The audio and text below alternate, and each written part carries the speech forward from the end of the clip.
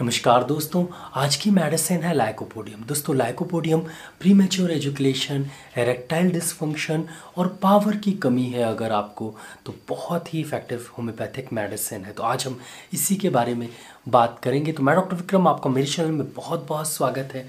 तो चलिए शुरू करते हैं।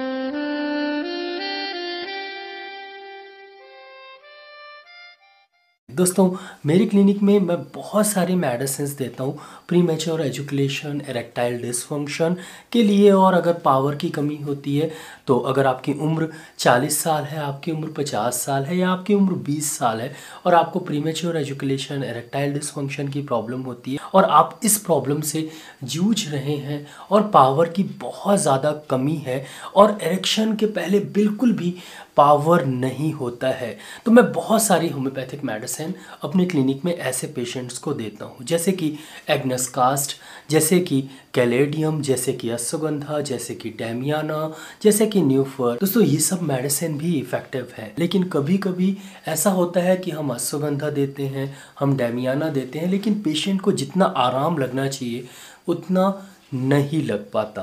दोस्तों, जब ऐसा होता है तो मैं हमेशा पेशेंट को, मरीज़ को लाइकोपोडियम देता हूँ और हमेशा लाइकोपोडियम मरीज़ को बहुत फ़ायदा करती है। क्यों करती है ये फ़ायदा? दोस्तों, आजकल का ऐसा समय है कि मेंटल वर्क बहुत ज़्यादा होता है। मानसिक तनाव, मानसिक स्ट्रेस बहुत ज़्यादा होता है। पेशेंट कंप्यूटर में वर्क करता है लैपटॉप में वर्क करता है या हम लोग मोबाइल बहुत चलाते हैं और तनाव और स्ट्रेस के कारण हमें प्री मेच्योर एजुकेशन और इरेक्टाइल डिसफंक्शन जैसी प्रॉब्लम्स होने लगती है, हमें पावर की कमी महसूस होने लगती है। और ये जब आप पेशेंट की हिस्ट्री लेते हैं, उनसे पूछते हैं, समझते हैं तो आपको समझ में आ जाता है कि उन्हें मानसिक तनाव है स्ट्रेस है और बहुत ज़्यादा मेंटल वर्क करने के कारण उन्हें प्री मेच्योर एजुकेशन और इरेक्टाइल डिसफंक्शन जैसी प्रॉब्लम है। और बिल्कुल पावर की कमी है और इरेक्शन से पहले बिल्कुल भी पावर नहीं मिल पा रहा है उन्हें,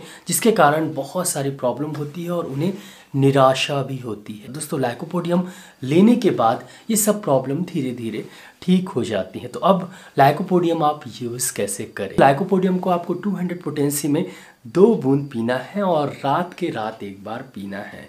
शाम को नहीं पीना रात को पीना है। ये ध्यान रखिएगा, लगभग खाना खाने के आधे घंटे बाद लाइकोपोडियम 200 दो बूंद डायरेक्टली टंग में आप टपका लीजिए या एक चम्मच पानी के साथ आप ले सकते हैं। तो दो तरीके हैं, आप जो भी तरीका आपको अच्छा लगे, उस तरीके से आप लाइकोपोडियम लीजिए। इसे लेने के बाद तुरंत आपको आराम लगेगा और प्रीमेच्योर एजुकेशन एरेक्टाइल डिसफंक्शन और पावर की जो कमी है, वो आपको महसूस नहीं होगी। अगर आप इसे कंटिन्यू करते हैं और एक महीने दो महीने तक लेते हैं तो आपकी प्रॉब्लम हमेशा के लिए ठीक हो जाएगी। इस वीडियो को अपने दोस्तों को ज़रूर शेयर करिएगा। अगर प्रीमेच्योर एजुकेशन एरेक्टाइल डिसफंक्शन या पावर की कमी है तो मेरे को मैसेज कर सकते हैं नीचे मैसेज सेक्शन में। दोस्तों, नीचे लाइक का बटन दिया तो वीडियो को लाइक ज़रूर करिएगा और चैनल को सब्सक्राइब करना और उसके बाद बेल आइकन दबाना बिल्कुल मत भूलिए। आज के लिए बस इतना ही।